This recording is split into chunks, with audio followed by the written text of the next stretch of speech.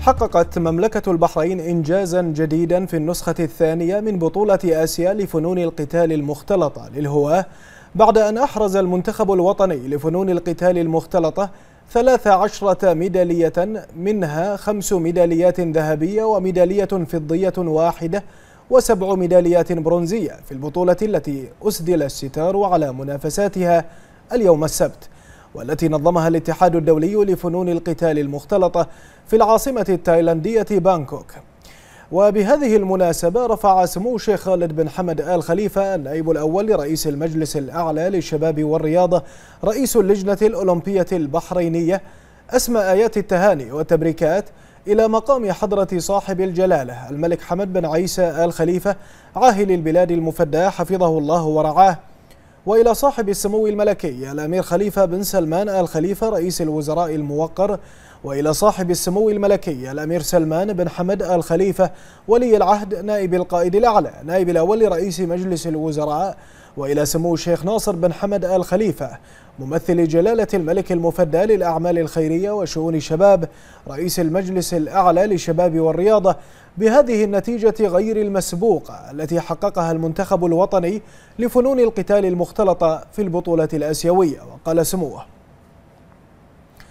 فخورون بهذه النتيجة الآسيوية الجديدة التي حققها المنتخب الوطني لفنون القتال المختلطة. فهذا الإنجاز يعتبر ثمرة من الثمار التي نجنيها بفضل رعاية ودعم سيد الوالد حضرة صاحب الجلالة الملك حمد بن عيسى آل خليفة عاهل البلاد المفدى أيده الله ورعاه.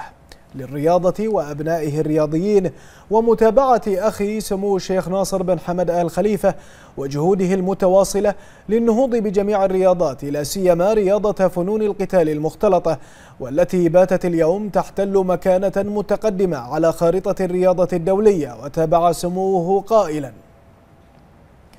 إن هذه النتيجة المتميزة التي أحرزها المنتخب في أسيوية فنون القتال المختلطة تعزز الجهود لمواصلة تحقيق أهداف رؤيتنا التي رسمناها لهذه الرياضة لحصد النتائج والإنجازات المشرفة التي تدعم من الحضور والتواجد القوي لرياضة فنون القتال المختلطة على المستويين القاري والدولي. وتؤكد المكانة التي وصلت إليها والتي لم تأتي من فراغ وإنما من الجهود الكبيرة والمستمرة التي بذلناها في سبيل أن نصل إلى هدفنا الرئيسي وهو العالمية. وأشاد سموه بالمستوى الفني القوي للمنتخب قائلا نعرب عن اعتزازنا الكبير بهذا الإنجاز فلقد كان أبطالنا عند الموعد وشرفوا البحرين باعتلائهم منصة التتويج وحصدهم تلك الميداليات والتي تحققت من خلال إصرارهم وعزيمتهم والمستويات الكبيرة التي قدموها خلال النزالات والتي توجت بهذه النتيجة الآسيوية الجديدة وأضاف سموه.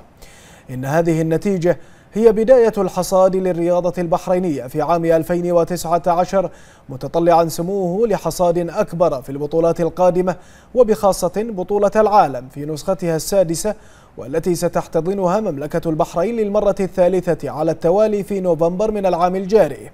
مثمنا سموه الجهود الكبيرة التي يبذلها الاتحاد البحريني لفنون القتال المختلطة برئاسة سعادة العقيد خالد عبد العزيز الخياط لتهيئة الأجواء المطلوبة أمام أفراد المنتخب لخوض المشاركات.